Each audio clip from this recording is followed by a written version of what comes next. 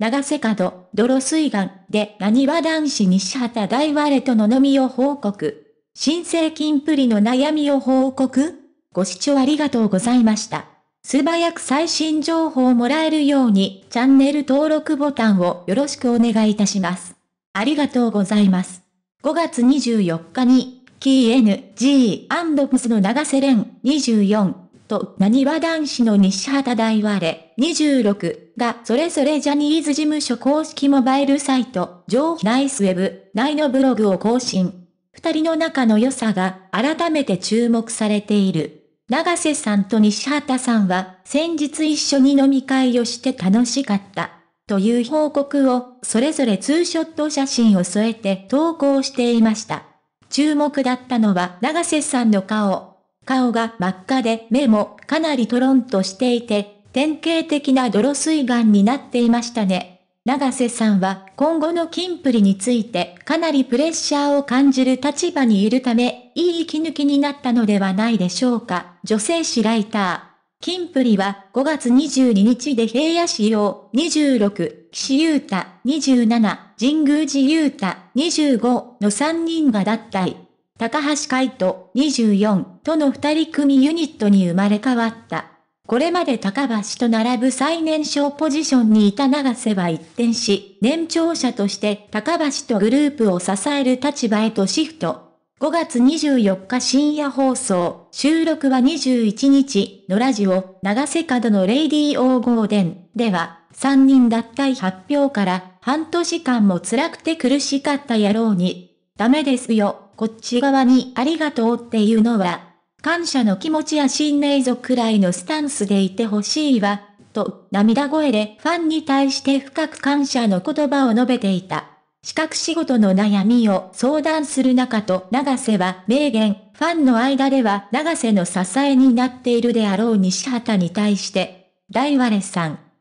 いつも角のそばにいてくれて本当にありがとう。簡単ふ。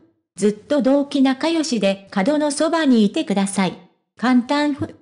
大割れくんと飲みに行ったのね。何わくんがデビューしてからは会える回数が増えたね。外食もできるようになったし気を使わない相手っていいよね。から安心だわ。角くんすごい飲みましたって顔してる飲みながらでしか話せないこともあるし。大割れくん相手だからこそ話せることがあると思うから。プライベートの大連を共有してくれたのがすごい嬉しかった。ありがとう。といった声が SNS に寄せられている。